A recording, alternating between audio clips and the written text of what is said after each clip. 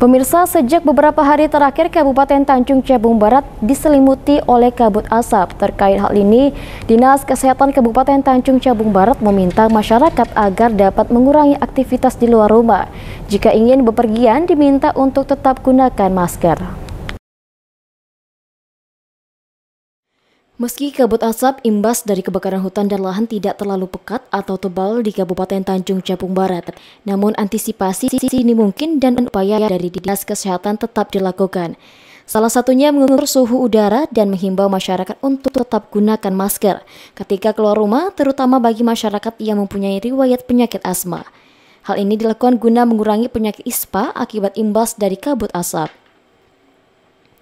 Kepala Dinas Kesehatan Tanjab Barat Zaharudin mengatakan upaya dalam hal antisipasi kabut asap terus dilakukan, baik bersifat imbauan maupun sosialisasi kepada masyarakat, serta tetap mengukur ISPU dengan alat step leg type TFAGF 41 atau alat ISPU manual, yang terakhir dilakukan pada tanggal 3 Oktober lalu dengan nilai ISPU sebesar 141.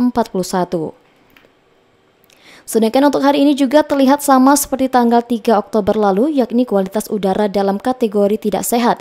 Dengan demikian, masyarakat yang bermukim di kota Kuala Tungkal dihimbau tetap gunakan masker. Selain itu, bagi anak-anak sekolah turut dihimbau tetap gunakan masker dalam kegiatan belajar mengajar, sebagai antisipasi mencegah penyakit ISPA akibat dari asap kebakaran hutan dan lahan. Uh, baiklah, kami sudah menindaklanjutin kemarin untuk pemeriksaan kualitas udara. Ya terakhir kita periksa pada tanggal 3 Oktober 2023 bahwa didapat hasil pemeriksaan yaitu nilai ISPU-nya 144 ya dalam kategori uh, tidak sehat.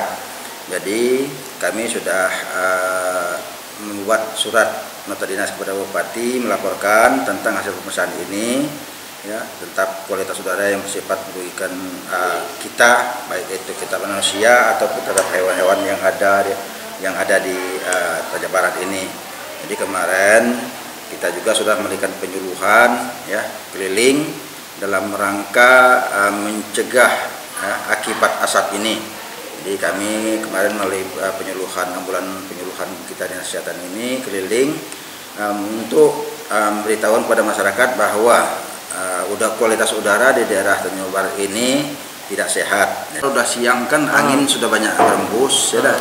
Jadi asap itu tidak begitu pekat. Memang kalau pagi pagi itu hmm. ya rata dia pekat asap itu kan gitu. Nah, ke siang mulai cerah gitu kan ini. Makanya kalau sekarang ini tidak dianjurkan juga kalau kita mau ya berolahraga ya harus pakai masker gitu kan. Hmm. Kalau tidak itu ya sebaiknya ya di.